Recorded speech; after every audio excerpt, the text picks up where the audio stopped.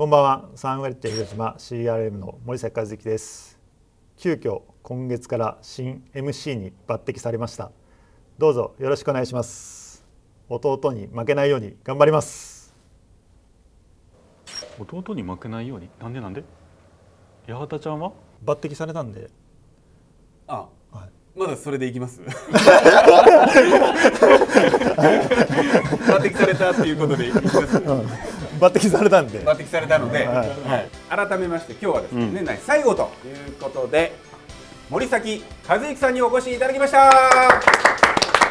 さあそうなると小江さんねはい。一人ちょっといつもでしたらね、真ん中におられるのがはい。八幡アナだと。ね。八幡アナだと、はい。あのまあ今回出演者のこう密をやっぱり避けなければいけないということで、はい。今回はここにいます。カジさん、コイさん、ここです。スタメン落ちしてしまいましたが、ここから番組を盛り上げていけるように頑張ります。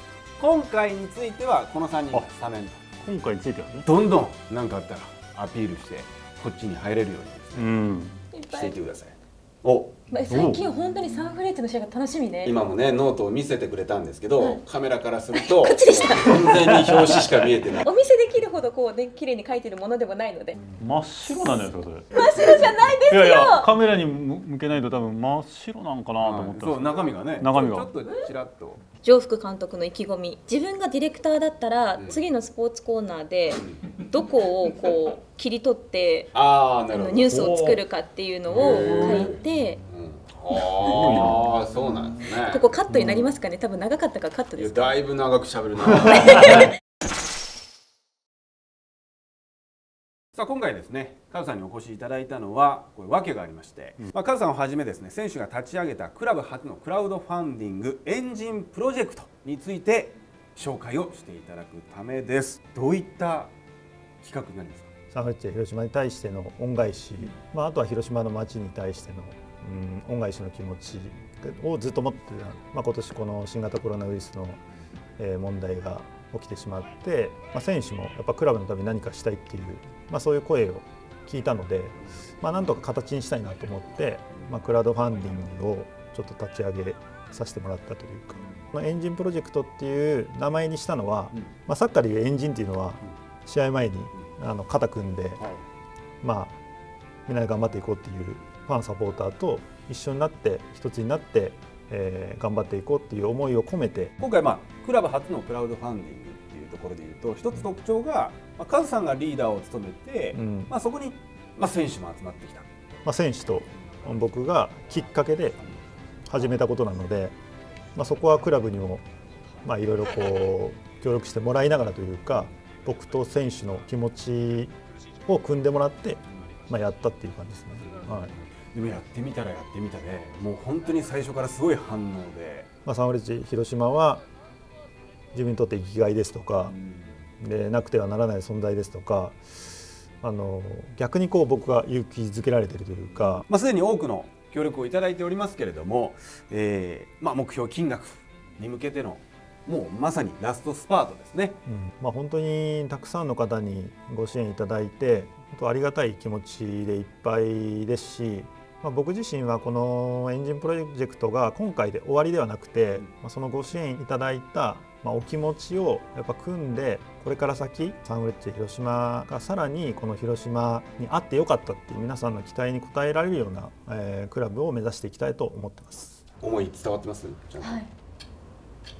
伝わりました。伝わりました、うん。八幡さんはどういう関わり方をこのエンジンプロジェクトにしていきたいなと？なんかね商品もねいっぱいリターン商品ですね30種類ぐらいあるんで、うんまあ、八幡アナだったらどれぐらいの金額っていうかまあまあぶっちゃけ言うと、ぶっちゃけ言うとですね。そういうね今ベンチ外になってるんで、でまあまあ。一つの、まあアピールポイントでもあるわけですよね。まあそれも評価に入ってくるかもしれないですね。入ってくるかもしれない厳しいですよ、はい。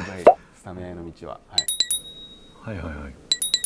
いやまあまあだと思うんですけど、僕そんなに高い金額を、はい、僕は思ってなかったんで思ってなかったちょっとびっくりというか。僕はでも素直に受け止めます。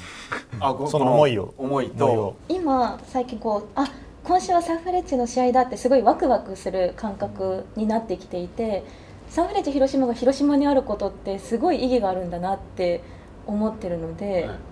それだけ出していただければもうそのスタメンどころかもう監督になれるんじゃないですか、それぐらいのもう一気に達すると思うんですけどね。一気に行く一気にいくと思うんですけどね。無理のないように。お願いします。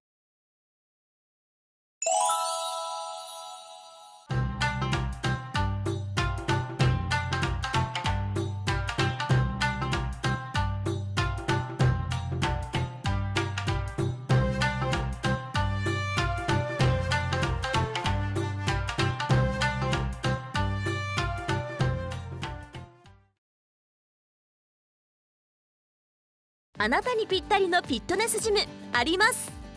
広島市内に3施設を展開するフィットネスジムベースワン。会費額は月額1000円から。